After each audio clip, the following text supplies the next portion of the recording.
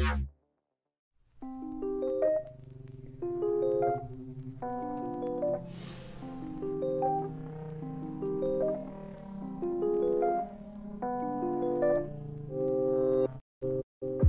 Giuliano Imprescia, I'm 35 years old and uh, I'm the CEO of uh, Nuova Società Piemontese Automobili in Turin, Italy.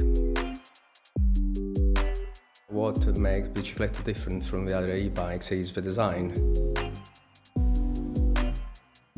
Bicicletto can be described in one sentence uh, by saying it is the coolest Italian bike on the planet because it is the only bicycle which has the design of a motorcycle.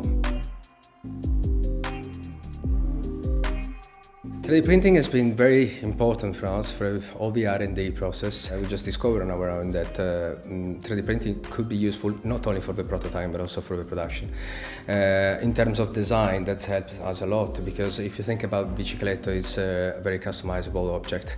So uh, the 3D printing linked and connected to the production gave us also this uh, tremendous possibility to do whatever we want. Okay, so to change also small parts in the production and also also without bearing the cost of the molds, which is very important for um, uh, serious and uh, unique also pieces and uh, objects like the bicicletto.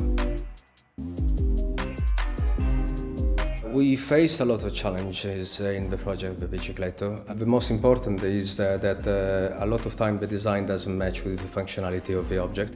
Thanks to Materialise all these challenges, of course, they've been uh, surpassed and been faced and have been overcome. Working with Materialise was a, a gift. Every single component which seemed a very difficult challenge to face, uh, Materialise made simple, as simple as ever. I believe that 3D printing is the future. I can imagine the biciclette in 10-15 years uh, completely uh, prototyped and produced with the 3D printing.